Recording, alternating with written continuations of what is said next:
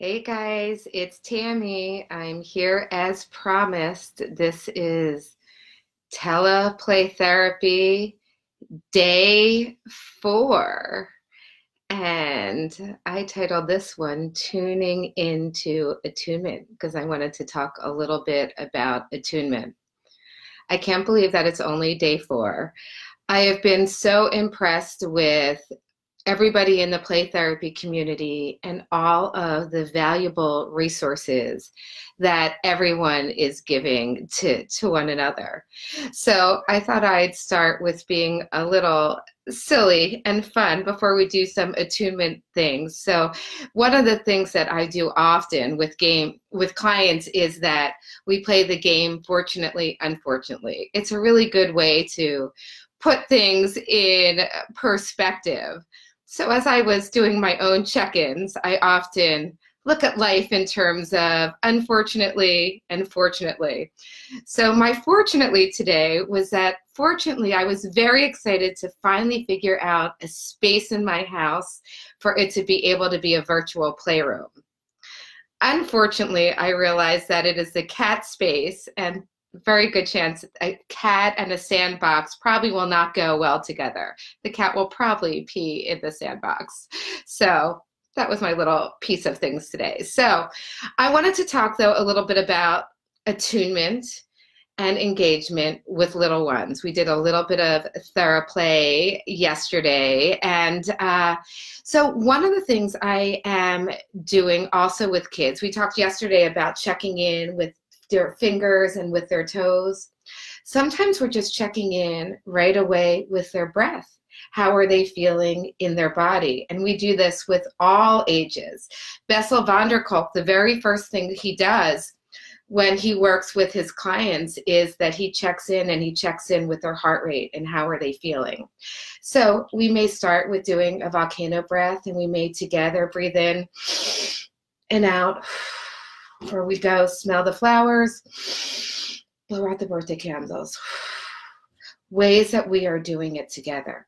So, one of my favorite things that I do, and I think it's really important when we are doing teleplay therapy with all of our clients to be able to have Play Doh, model magic, clay, slime in all of my presentations, I literally always have the Play-Doh out, and I recommend for people to have Play-Doh in their hands at all times.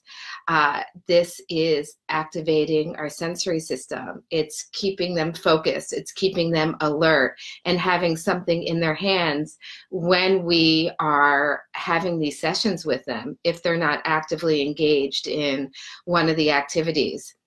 So one of my favorite activities that I do regarding attunement is that I will, and I do this also in my training, so some of you guys may think it looks familiar. I may start, and, and I do this all the time with a parent and a child, or we could do it with an entire family. It's kind of like a follow the leader, so it's really mirroring. If anybody has any Play-Doh and wants to do it with me, feel free. So we may roll it, and then they would be following me rolling it and then I may turn it more into a snake, right? And then I may pound it, and then the child's going to do it, and I am going to follow the child's lead. So Hi, Jane. Jane's been so good coming on every day. Uh, and then we will smush it.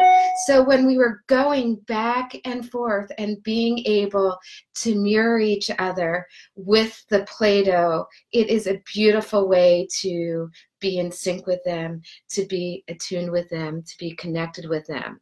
So this is very similar to mirroring.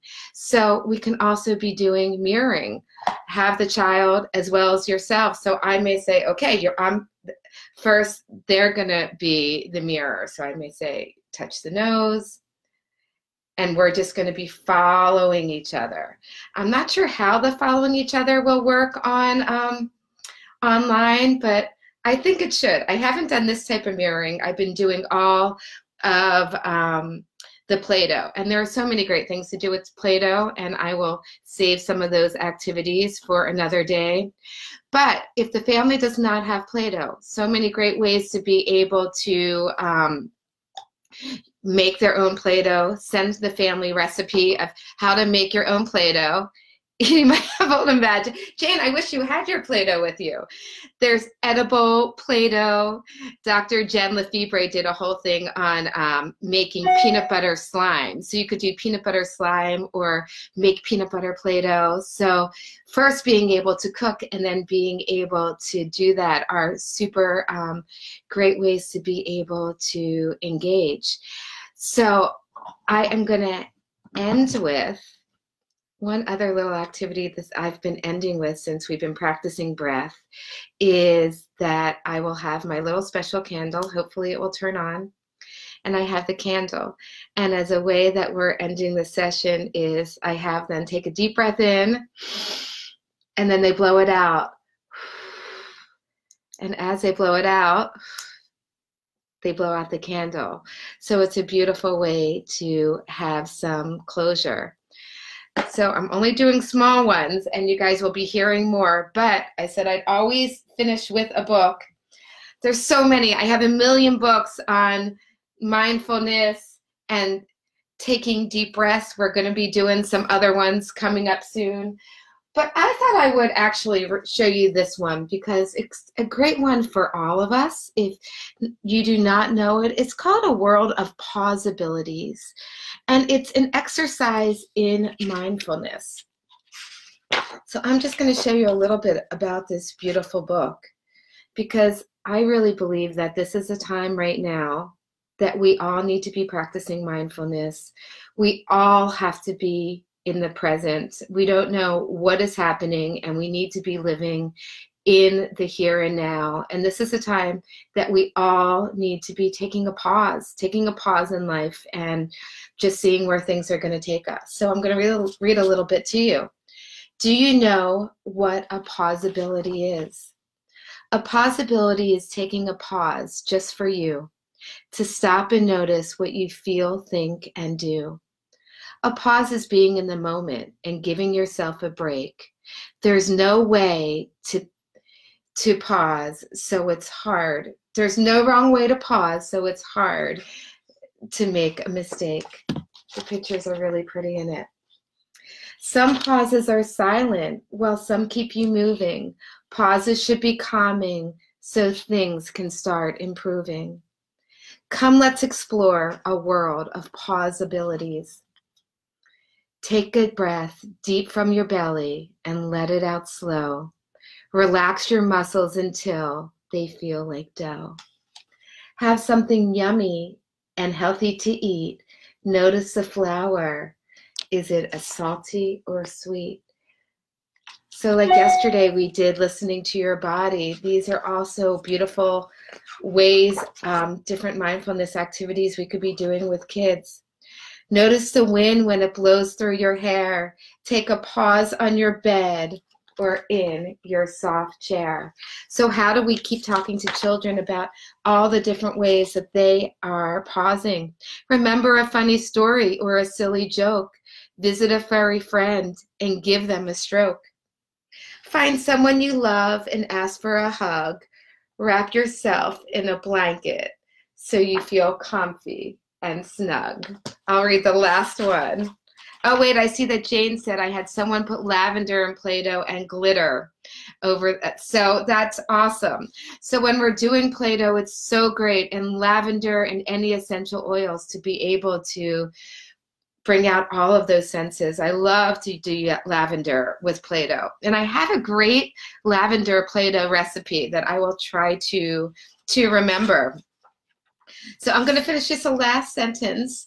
Can you come up with other pausabilities? Just let them flow.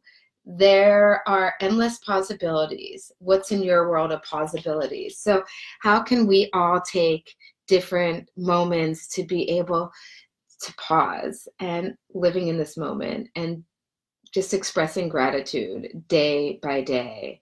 So, just a couple quick ones. I will be on. Um, tomorrow i wasn't going to do weekends but we'll see what happens. Maybe i will. There's so many other things to share and i just want to thank everybody for sharing all their awesomeness. But i can't recommend enough the importance of having slime or play-doh and having something on the in the kids hands when they're doing this work. Okay guys take care and have an awesome day